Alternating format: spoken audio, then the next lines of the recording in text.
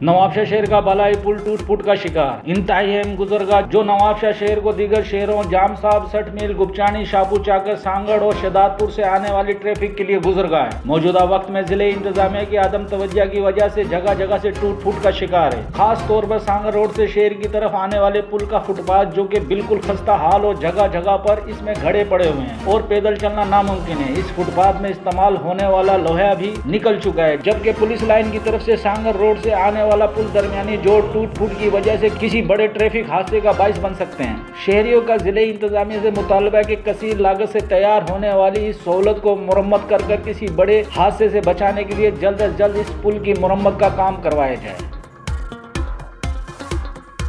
H R J D U से मजीद खबरों और अपडेट के लिए विज़िट करें हमारा YouTube channel H R J D U news.